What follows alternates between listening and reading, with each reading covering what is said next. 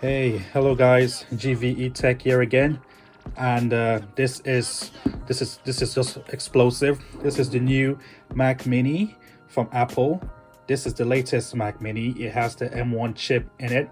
Uh, Apple has moved away from Intel chips. They now make their own chips, and this is the first in the long line of that. It's called the M1 chips. So this just arrived. So uh, let's go. Without further ado, just gonna this is the first time I'm opening it. Let's just peel it all off. There have been so many reviews and unboxings on the internet, uh, but and it's been having really serious, serious positive reviews. So I'm just gonna unbox this. Whoa, it's not like unboxing an Apple device. And if you follow me, you know my thoughts about Apple.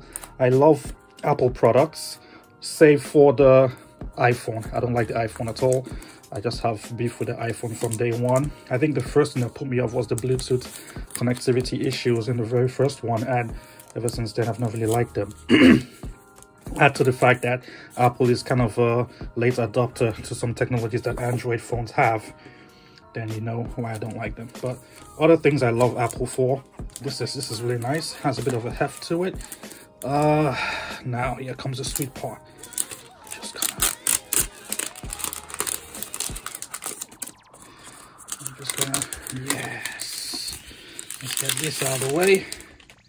Whoa, look at that. Look at that baby. Look at the beautiful baby.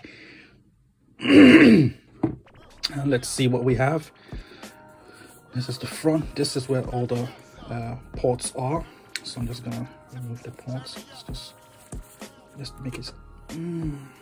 Whoa. Whoa. There you go. So let's see what we have. We have the uh, the power input. This is the Ethernet cable port. We have two USB-C ports, HDMI out, and two normal HDMI ports. We have a headphone jack good, and we have a vent. So this is the bottom. It just says Mac Mini, nice, nice, looks good. Uh, let's see what we have in the case. Yeah, what else is in the case? Okay, comes with a cable, regular charging. Oh, and yeah, since I'm in the UK, this is the UK cable. Uh, regular stuff that no one ever reads. Yeah, yeah, yeah, yeah. Oh, they're bringing this back. Okay, this is a large one, a large Apple sticker. I don't know where that's gonna go. I'll think of that later. So I'm gonna edit this video on it. The reason why I got this is because of video editing and because the reviews I saw and the benchmarks. It's really crazy what you can do with this. This is the 8 gig uh, RAM version and 256 memory. I'm not really concerned about the memory because I always use external memory. That's fine by me. I just need something small and powerful that will replace my MacBook Pro. I use my MacBook Pro for editing and doing all sorts of things, and it's getting old. Uh, it's uh, six years old now. It was got in 2014. It's a powerhouse, but uh, you know when if you use a if you use a MacBook or a MacBook Pro, you know it gets hot and you could literally just warm your coffee or your tea with the heat that comes out of that. And with the migration to the m1 chip apple's m1 chip it means that it's going to be faster it's going to be more efficient power consumption and so on. So i'm uh, i'm really geeked to to try this out and uh, see how it goes. Yeah i'll talk to you guys later. So guys uh, this is just the device information I'm giving you now on the screen uh, my MacBook Pro and the new Mac Mini. So those are the specs that you can see. Now the first test I did was the Heaven test. It's a it's a, a benchmark test that pushes the GPU to the limits. It slams uh, all the GPU aspects of both devices, and you can see that the, my MacBook Pro is just crawling. The Mac Mini has no drop frames. It's just smooth as butter and it just blew me out out of the water basically. Uh, you can see how, how it is. Here the score my macbook pro is having a, a, a total score of 366 and the new mac mini is over a thousand 1257 and the, the, the, amazing thing is that the new mac mini is reaching a, a, a fps of 80, 83 while my MacBook Pro, the max you could get is 22 or 23, which is just, uh, it's just amazing how good the Apple uh, M1 chips are. This is just, it's amazing to be honest. Uh, so you can see how uh, a 3D rendering would be like on this new Mac Mini compared to my old MacBook Pro. This is one of the reasons why I decided to get the Mac Mini because it's light years ahead of what I have now on my MacBook Pro. Uh, the next test I'm gonna be doing would be uh, a streaming test. So I'm gonna be streaming uh, a video, 4K video on YouTube.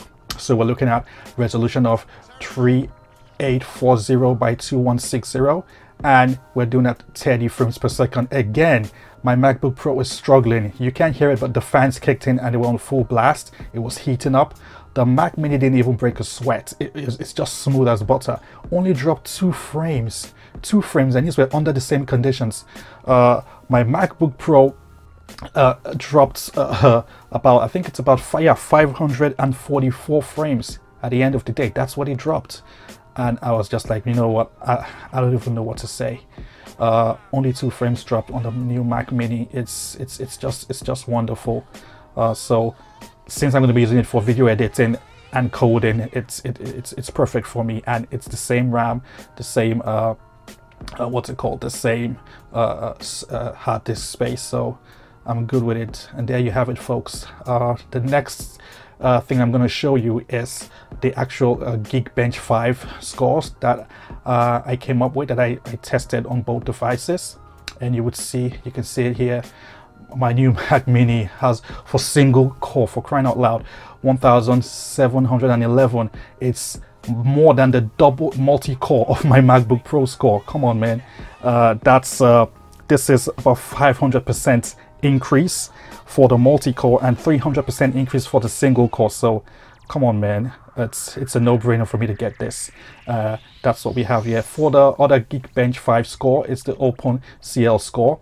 And here you have it. It's it's just wow i'm just speechless to, to be honest. A 500 percent increase in performance on the mac on the new mac mini. Um, and it's and all those scores i showed you just proves why this is so smooth as butter. This is the video I'm doing and I edited the video here with the Mac Mini. And you can see for brushing I just brushed the cursor uh, the, the, the playhead anywhere and it just plays. It doesn't there's little to no lag in terms of playing. And all the video files on here are 4k let's just get that straight up 4k and everything is going smoothly. So there you have it the new Mac Mini uh, with the M1 chip is a, is a winner for me. Till next time, guys. See you again. GV sign out. Take care of yourselves.